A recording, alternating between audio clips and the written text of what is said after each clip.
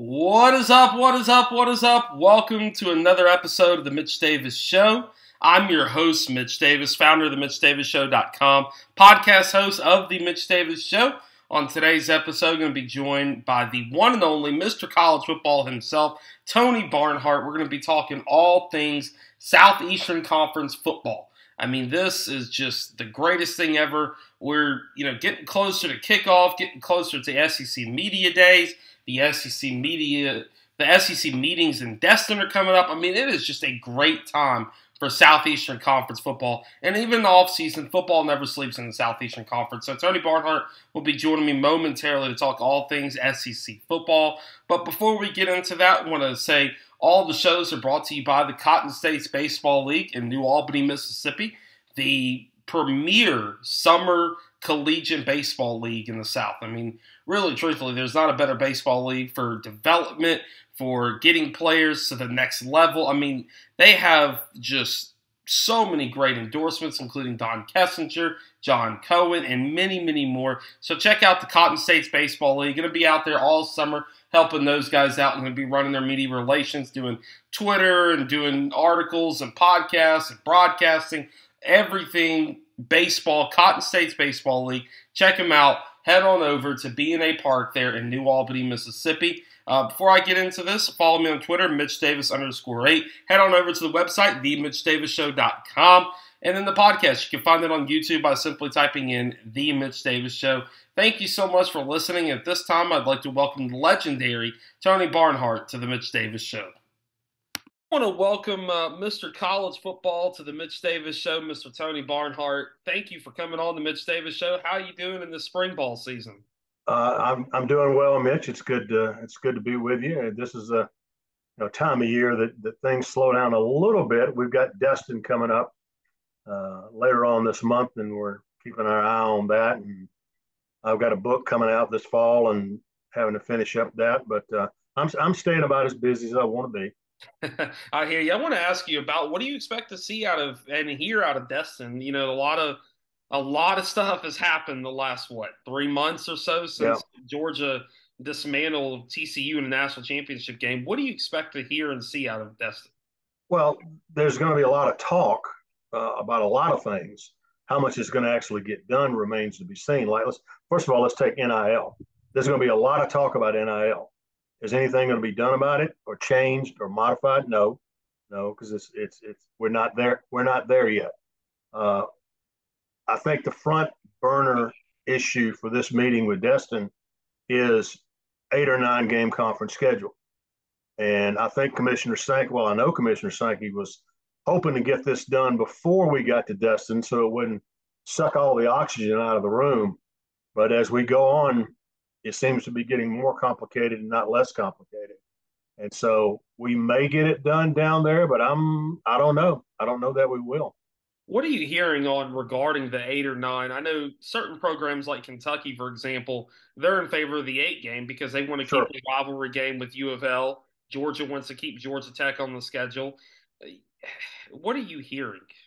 Well, what, what you hear is that as you know, a, a, month ago, a month ago, I would have guaranteed that there was going to be a nine-game conference schedule with the with the format, and uh, that allows you to play everybody home and away over four years. That that just seemed like a no-brainer to me. But now, Mitch, some of the realities of this stuff is starting to hit home, particularly with the coaches. Wait, wait a minute. You tell me I got to play another conference game, and if I've got a team that's good enough to make the playoffs won't that possibly hurt my ability to get into the playoffs, particularly next year when the 12 team format comes into play?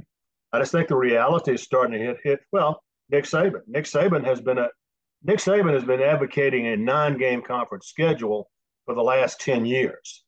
He was the only one who wanted to do it.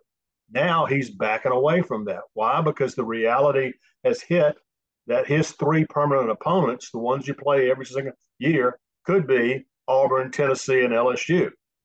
Three teams that'll that are going to be really, really good year in and year out. So I, I think the fact that Nick Saban has backed away, coaches who, who want to get to bowl games realize that this hurts the percentages. Their percentages go. If you're one of the uh, mid level, the middle class teams in the SEC, you know this this is it, it's a fit. You know, you need to win that extra game. So I think that's going to dominate the conversation. Uh, I'm sure the gambling issues that have popped up, uh, Iowa State and Iowa, obviously the Alabama baseball coach, that will come up. I don't. It's way too soon to do anything about it, in my opinion. But it'll absolutely be a topic of discussion. You know, I want to ask you, you know, before we go into any more talking SEC football, I want to ask you about the a little bit about the gambling issues. Mm-hmm. Obviously, it's still early in this, and still a lot of news and information has still yet to be presented. What are right. your early takeaways from that, and and how do we get ahead of the curve a little bit with the gambling and the NIL stuff? Well, as as my uh, good friend Matt Hayes pointed out, uh, the word the terms "get ahead of it" and the NCAA do not belong in the same sentence because the NCAA never gets ahead of anything, and this is yet living proof of that. Matt Matt did a really good column uh, over at uh, Saturdays in the South. Uh, the I think we're dealing with a couple of different things. One, the coaching situation at Alabama, where the coach was in directly or indirectly involved with passing along gambling information. That's you know what? That's a no-brainer. That, that's really not a hard call. If that happens, and you're you're an employee of the university, guess what? You're not going to be an employee of the university any longer. What the NCAA chooses to do with you is another issue, but you won't be employed there. To me, that's a that's a no-brainer. The bigger issue is um, when players get involved and do things that are legal for everybody else to to go on these sites and put down a bet online, but it, they can't be legal for the players, which I think is what's going to happen. You know, there, there's going to be a lot of people that say, "Well, that's not that's not fair because the other students get to gamble." And my response is, "Yeah, so no, it's a different deal." But that those are the two the two issues, Mitch. Is what do you do with student athletes who gamble, and what do you do with employees like coaches gamble? And the two different set of um, it's a, it's a different situation, but I think the bottom line is that if you are a student athlete and the NCAA sponsors a sport, your sport or any other, you can't bet on it. You can't. I want to jump over to talking SEC football now. Obviously, Georgia back to back national champions and seemingly is the perennial power right now to be coming into the 2023 season. Talk about the Georgia Bulldogs. What do you expect to see out of them this fall? Well, obviously, Kirby Smart has done an incredible job of building the program and the definition of program, stacking top three, top two, top one recruiting classes on top of each other allows you to do what Georgia has done. And now, will Georgia be as talented this year as they were last year? No, but they'll be still be really good. They'll still be really talented. And when you look at their schedule, my goodness, once upon a time they had Oklahoma on this schedule but they're not there anymore. And you look at their, if you go down their list, you're saying, okay, who on this, who's going to beat these guys? Uh, you know, who's going to beat them? I think the obvious circle that you draw is Georgia going to Tennessee on November 18th. That's the game. Now, you know, they'll have other tough games. They had a tough game with Missouri last year. But right now, if you're just going to look at it logically, you don't see anybody on that schedule, with the possible exception of Tennessee, that can beat them. I want to ask you a little bit about Tennessee football. Obviously, look at Josh Heupel. Look what he did last year. They beat Alabama. They got to a New Year's Six bowl. What do you expect to see out of the Volunteers in 2023? Is this a Volunteers team that will get to the College Bowl playoffs? It, it, it could obviously if they go undefeated and they beat Georgia and that's a good thing. But the question is, you know, obviously if, if you had your old quarterback back, if you had him back, you would uh, feel better uh, about thinking about Hendon Hooker if he was back. Now you got Joe Milton, transfer from uh, Michigan, played well at times last year, has a cannon for an arm, but can he execute the nuances of Josh Heupel's offense? I think that that's the key because the quarterback in that offense has got to make a lot of different throws. Can Joe Milton do that? We'll see. It could, could, could, but um, I think they they've got a chance. Obviously, they're going to be better they're clearly right now, I think, the best team in the SEC East. And uh, oh, by the way, this is the last year we're going to say that because divisional play goes away after this season. Forgot about no regional play. I want to ask you though, looking over at Alabama, obviously, you know, we've all seen the spring game. We all jump to conclusions like we do every year in the spring. Alabama is not Alabama that they were five years ago. Is this a lull for Alabama or a new harsh reality that you know Nick Saban's going to have to adapt with Kirby Smart and Josh Heupel and others in the SEC?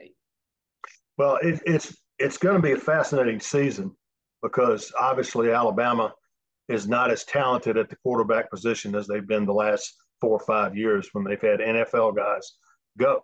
Uh, obviously, bringing in the transfer from Notre Dame to compete with Milroe is going to be fascinating. But what what is the what is the level? What level of quarterback play do they get? And if they get a very good level of quarterback play, you don't have to be great.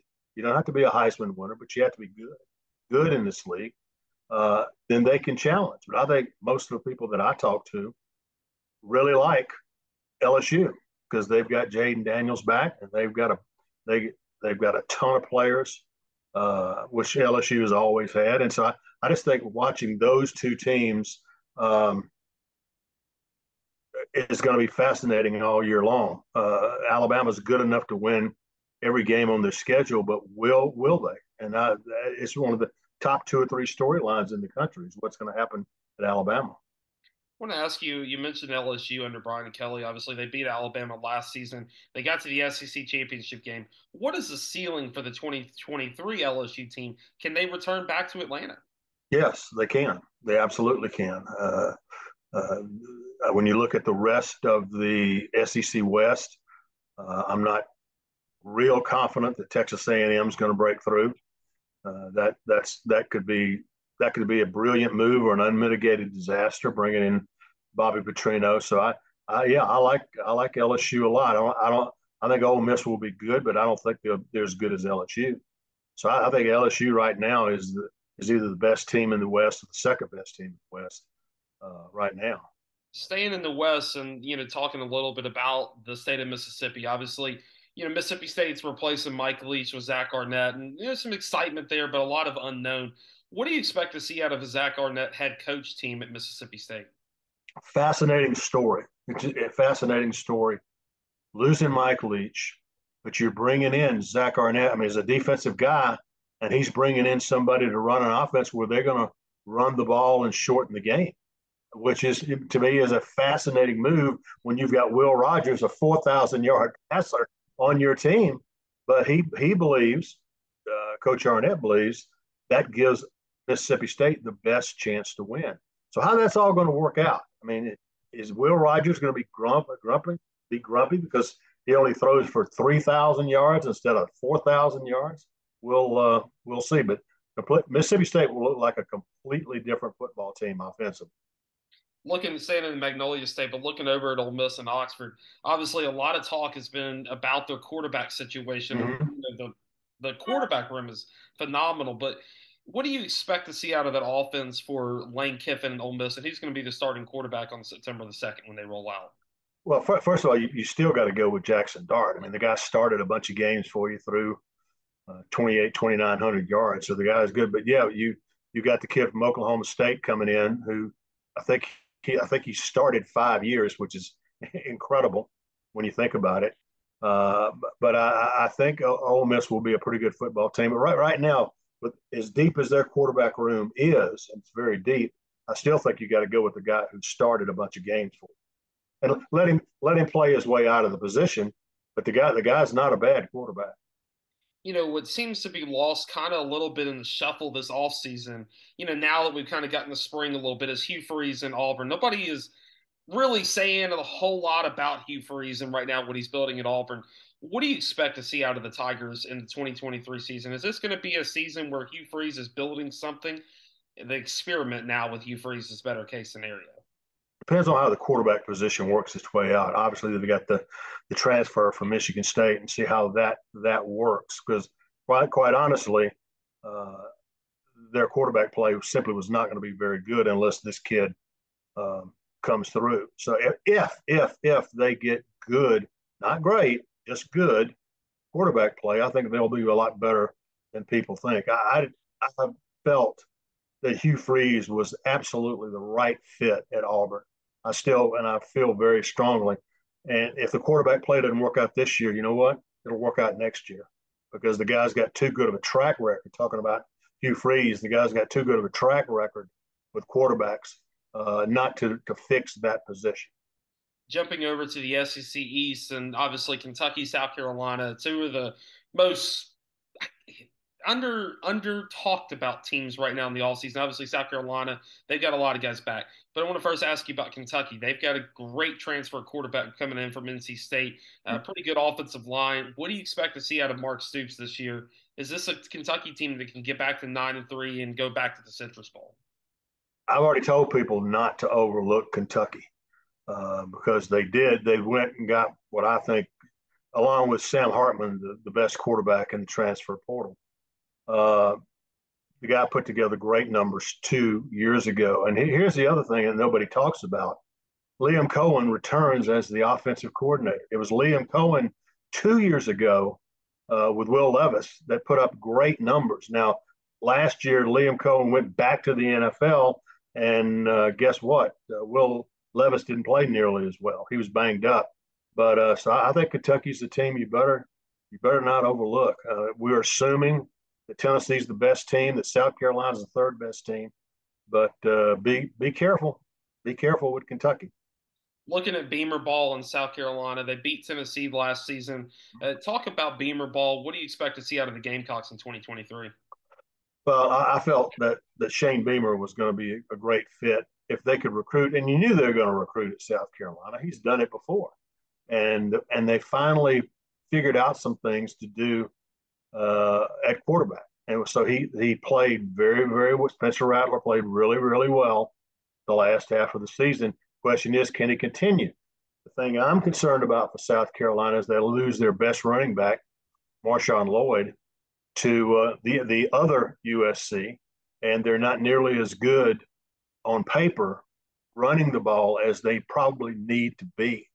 Uh, you you don't you're not going to get away with having to throw it 40 times a game. I just don't think that's going to work. So let's let's see if they can find themselves a running game to complement Spencer Rattler. If they can, then they're going to jump up and beat some people. Last question I have for you. I want to ask you about your career. Obviously, you've been around SEC football for a very long time. Want to ask you about maybe your favorite memories, one or two memories that have stood with you over the course of time now. Well, there there's there's a lot of them, but um, uh, I guess I, one that will always come to my mind is people ask me about the best games I've ever seen, and uh, the best game I ever saw easily was the Rose Bowl between Texas and USC, uh, and for the 2005 national championship. I just thought that was it was a great atmosphere, just absolutely incredible. And then I came back a few years later and watched Georgia play Oklahoma in the Rose Bowl in a playoff game, one of the best uh, I, have ever seen. Uh, I was standing on the far end of the end zone when Tua threw Tua uh, Tagovailoa through through the long touchdown pass to beat Georgia in the playoffs in overtime. Uh, that was an incredible sight. I've never seen Nick Saban so happy in in my years of dealing with him. But I'm I have been very very fortunate um, uh, to get to do what I do for a living. And this will be my 46th year of doing it. So I'm, I'm very lucky. Follow up on that. This just came to my mind, but I want to ask you about when you retire and you step away from this. What do you want your lasting legacy to be on on college football and in particular the SEC? Uh, I, I think, Mitch, just th- that I was fair, that I was fair, and when I tried to write something, I was always fair to all the parties uh, involved. Uh, and if you if, if if I can walk away with that legacy, that'll that'll suit me just fine. He is Tony Barnhart. Thank you so much for coming on the Mitch Davis Show. It's been a lot of fun. We're gonna have to have you on maybe uh, in Atlanta next uh, December. All right, Mitch. Good to be with you. You have been listening to the Mitch Davis Show, brought to you by the Cotton States Baseball League in New Albany, Mississippi. Played at the BNA ballpark there in New Albany. A very special thank you to our guest, Tony Barnhart, for joining us today, talking all things Southeastern Conference football. It is right around the corner, folks, and it is a lot of excitement going on in the Southeastern Conference. I've been your host, Mitch Davis. Follow me on Twitter, Mitch Davis underscore eight. Check out the website, themitchdavisshow.com. Podcast at YouTube, The Mitch Davis Show. And then also be sure you check out the Cotton States Baseball League across the web as well Twitter, Instagram, Facebook, and uh, the website as well, Cotton States Baseball League. Thank you so much for tuning in. Thank you to Tony Barnhart for taking the time to talk about Southeastern Conference football.